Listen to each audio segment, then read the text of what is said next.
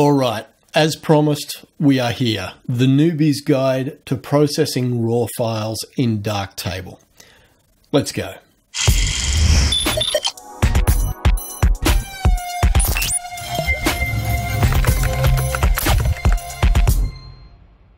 Hi, and welcome to episode 140 of Understanding Darktable. In the last episode, which I'm hoping you did not skip over, I explained why when you import a raw file into Darktable, it can look just like the in-camera JPEG in the light table view, but when you come into the darkroom view, suddenly it looks different. Now, I had these three images of this wallaby that I shot not far from home, a couple of oh, about a week ago, and this second frame was probably the sharpest of the three, so we'll muck around with this. So as you can see, this looks a little bit different to the in-camera JPEG. That's the in-camera JPEG. This is the raw data. And as I explained, all of these steps here cannot be removed. They are done in every other piece of image editing software you've ever used that you know, turns a raw file into an image. It's just that most other pieces of software don't show you. So we've got this image, and the only thing that's not part of the defaults here is exposure and filmic RGB. And as I explained in the last video, those two entries in the history stack are there because of a preference which I have set. Okay, so if we go into preferences and to the processing tab, you will see here auto apply pixel workflow defaults. And I have scene referred filmic as my choice. Now, in Darktable, if you choose anything which is not the default, you will see a white dot. I love that. I wish other software did that to say, this setting has been changed away from the default setting.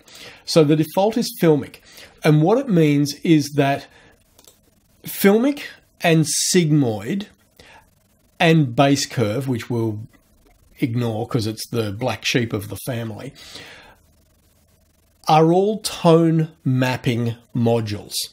So they're there to help you nail your white point without clipping highlights and to nail your black point without crushing your shadows too much. Of course, that's up to you and your own personal aesthetic. Uh, and to map all of the tones in between. So by default, Darktable gives you Filmic as your basic pixel workflow default. If we were to choose Sigmoid, and I was to now reset this history stack, you will see that instead of exposure and filmic, it's now exposure and sigmoid. And if we were to look at the active modules, which is the group signified with the power button type icon, this reads from the first state being at the bottom of the stack, our raw black and white point, white balance, highlight reconstruction, demosaic, yada, yada, yada, yada, yada. And there is sigmoid just after color calibration. So depending on which of these you know you choose to use, if you went with legacy, that's where base curve would come into it. So if we go with legacy and we reset the history stack again, we will see base curve is there now. And base curve looks like a tone curve. Uh, I'm not a huge fan of base curve. Let's not get into why. Uh, let's just be content with the idea that the default setting here is filmic. But if you don't want any tone mapping at all, you can set this to none. And then if we were to reset our history state again, you'll see that there is now no tone mapping module applied. Now that doesn't mean you can't go and apply Filmic or Sigmoid or Base Curve later on in your own you know time. You can certainly do that. So which you choose, Totally up to you. I will set it back to filmic because that's just the way I roll. All right, so we have this image. I'll reset this. That will then apply filmic again. All right, so processing a raw file in Darktable for a new user. Where do you start? First thing, if you need to do any type of rotation, it is simply right click and drag to draw a line on your image. And you can see that there is a positive degrees and negative degrees number right next to your cursor, which will indicate how much you are going to rotate that image by. Release your mouse and Darktable will automatically set whatever angle you had that red line at to zero degrees. So it's rotating by that amount. If you want to reset that, you will notice that in your active group, there is now rotate and perspective. You can simply turn that off to set it back to where it was, or you could have hit the reset button. Either will do the same thing. The great thing about that particular tool of being able to right click and drag to set rotation is that it also works in the vertical domain. So you'll notice if you draw something close to a vertical line, you've got negative values and positive values there. It's really good when you've shot architecture and you want to get the verticals of a building straight because you can simply go, okay, well, that vertical is leaning a little bit to the left, so I'll draw a line like that down the side of a building, let go, and wham, it just corrects it for you. So it rotates by that fixed amount. So that is how to rotate an image if you need to do that. If you need to crop, you will find that in the base group.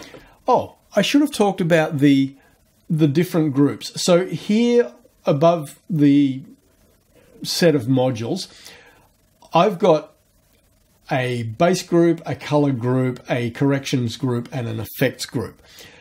But that will all depend on which of these module uh, presets you decide to work with from this hamburger menu on the right. Now I'm using workflow scene referred. You can use any of those that you want to use. And as you can see, you can create your own module groups if you are not happy with any of the half dozen that belong here. To do that, you go to manage presets, and that's a topic for a whole other video. In fact, it's a topic of a previous video, so definitely search that one out um, because I've already covered that. Okay, so if you wanted to crop, you would come into the crop module. Again, a little bit of a trap for young players. Let's say you wanted a 16 by 9 format. We can crop from any corner, we can crop from the sides, crop from the corner, crop from the other corners, crop from the sides, crop from the top or bottom. However you want to do it, it's fairly self-explanatory. You can drag the bounding frame around until you've got the framing that you want. Let's say I want my wallaby to sit over there on the left hand, you know, vertical third. Uh, I can do that. And you notice as you're dragging around, you've also got this numeric uh, indicator in the middle to let you know the cropped size of the image. So my raw files are 24 megapixels, so they're roughly 6,000 by 4,000 pixels. Because I've cropped in, I'm now at 5,299 by 2,981. Obviously, those numbers will change if you choose a different aspect ratio. Now, there's a whole bunch of aspect ratios in here by default. You can edit and add other aspect ratios, but again, that's a topic from a previous video. I think it was probably the video. Oh, wow. It may have been a video on the crop module. I honestly don't remember. I'm sorry. Um, I'm sure someone can sing out in the comments. Someone who's been following the channel will remember what you had to do if you wanted to add new crop ratios to this list. So let's suppose that we wanted to do a 5 by 7 So there's our 5 by 7 crop. And we can see now that the numeric value of the crop has changed, uh, only in the vertical, not in the horizontal. But if I was to then change you know, the crop like so, we can see that the size of the cropped image is changing like so. So we could do something like that. Now you're wondering, how do I commit to this crop? Because if I double click, nothing happens. No, the trick is to simply close the module and that will commit the crop. And it's now another state in your history stack. Okay, so we've rotated, we've cropped.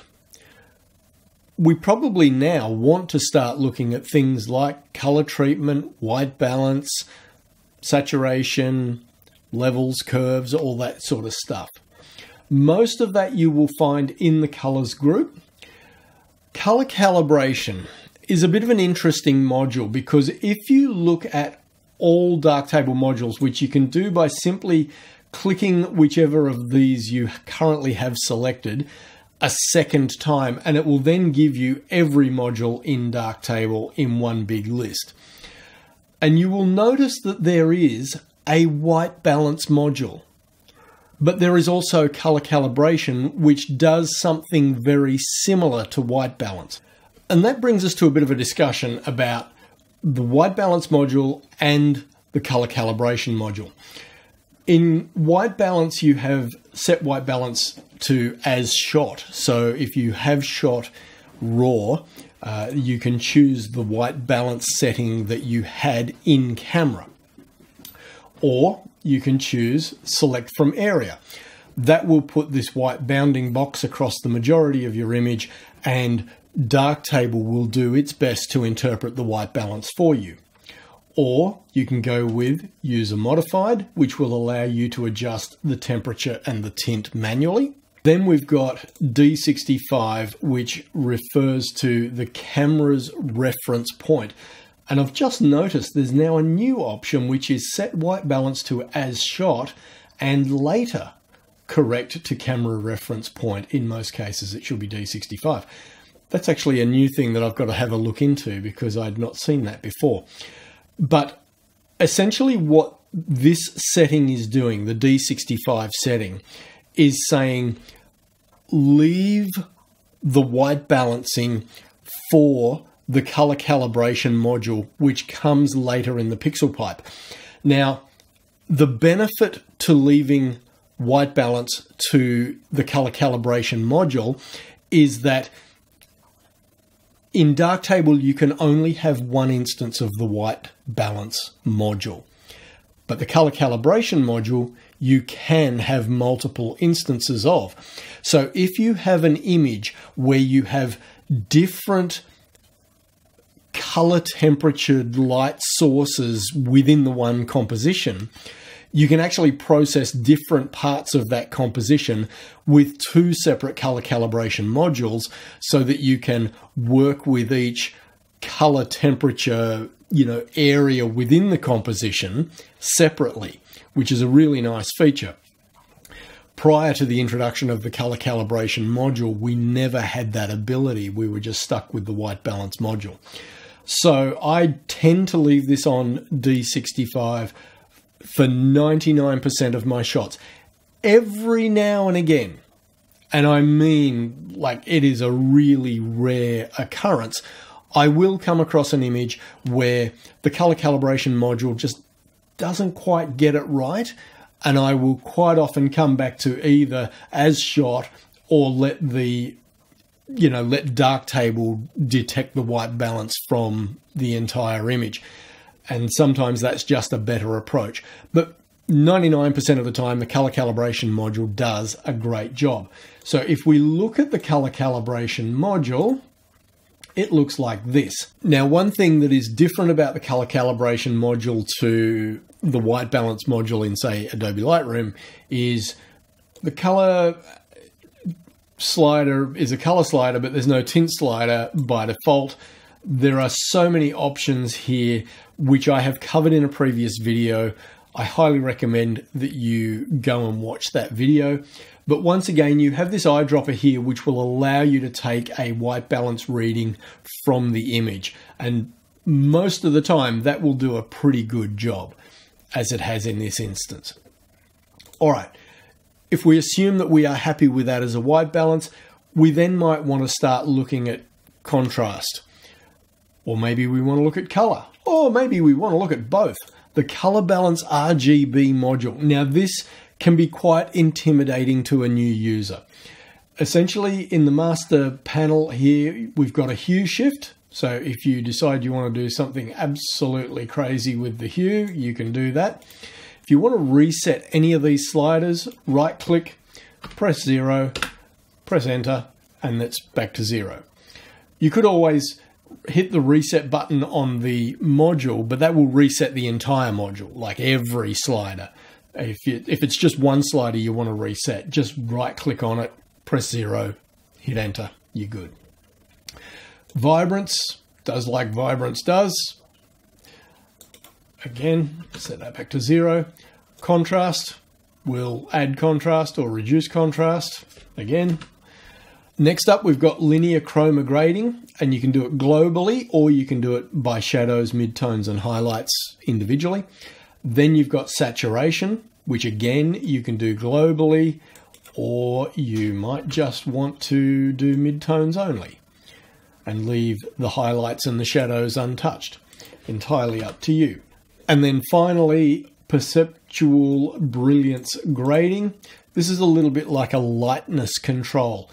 Again, you can do it globally, or you might just want to lift the midtones without adjusting the highlights. And maybe you wanted to lift the shadows as well, but again, leaving the highlights where they were. So, lots of ways you can play with tone and color within the color balance RGB module. The four ways tab and the masks tab is some pretty advanced stuff. If you feel like you're ready for it, I highly recommend you go and find the video that I did on color balance RGB. If I remember, I'll link to it up there. And in that video, I do cover the four ways and masks tabs. But most of the time, the master tab will get you to where you want to go. There are other options for dealing with tones, and probably one of the better ones is the tone equalizer.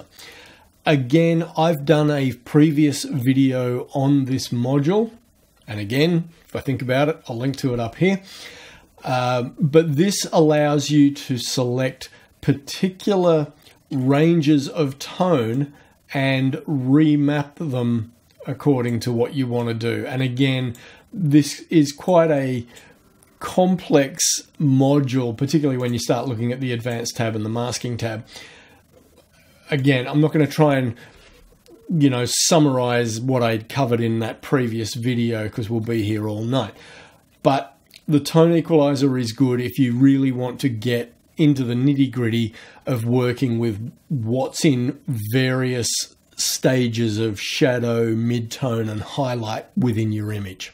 If you do need to do any denoising of your image, jump over to the correct tab and you will find denoise profiled.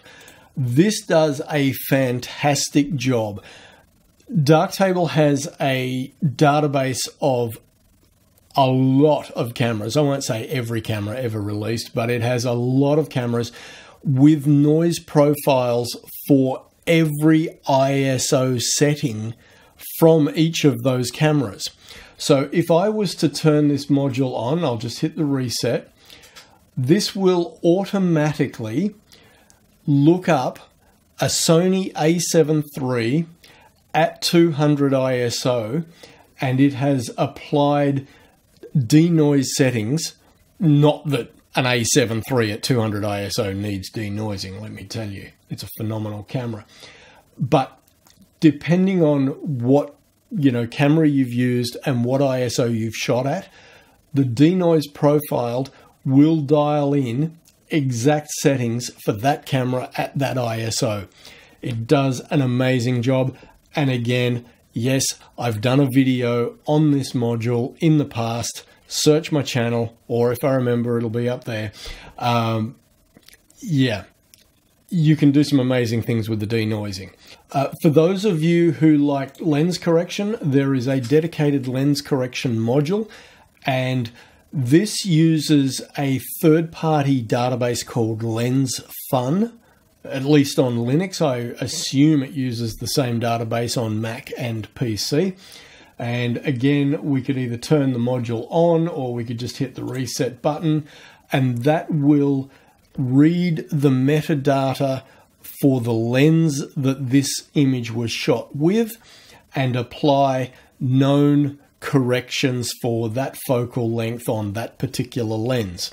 Obviously, if it's a prime lens, then there's only one focal length, but if it's a zoom lens, then it will have corrections for all of the focal range of a zoom lens. If you are shooting long exposures and you end up with hot pixels, there is a dedicated hot pixels module and it does like it says on the tin. It will identify hot pixels in your image and you can adjust the threshold and the strength as you see fit. If you're worried about chromatic aberrations or you actually have chromatic aberrations in some of your images, there is a dedicated chromatic aberrations module. Uh, again, you can just switch it on, and if you need to dial in your own settings, go right ahead.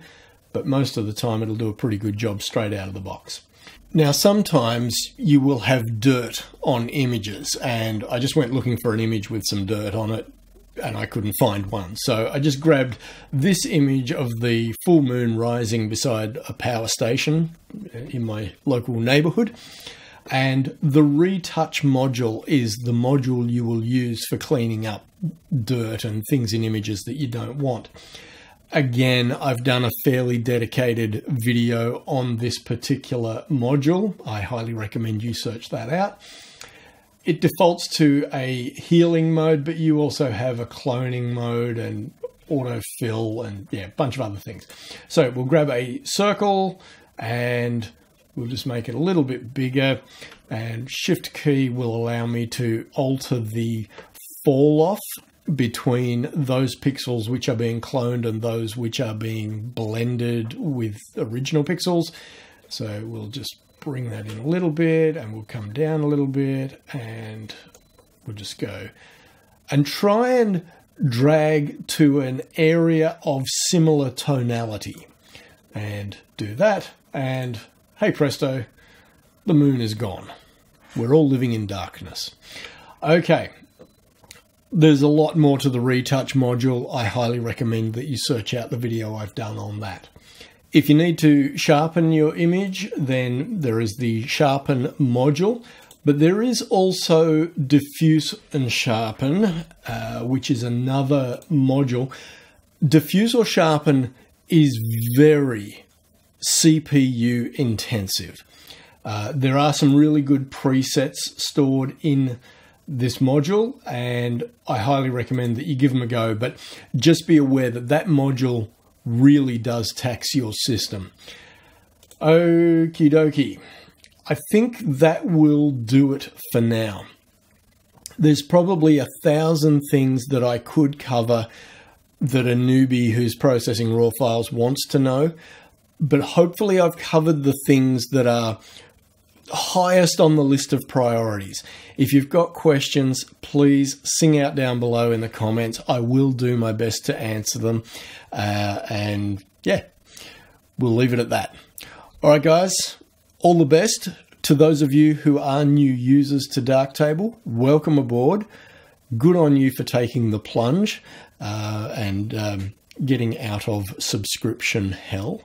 And uh, I will catch you in the next one.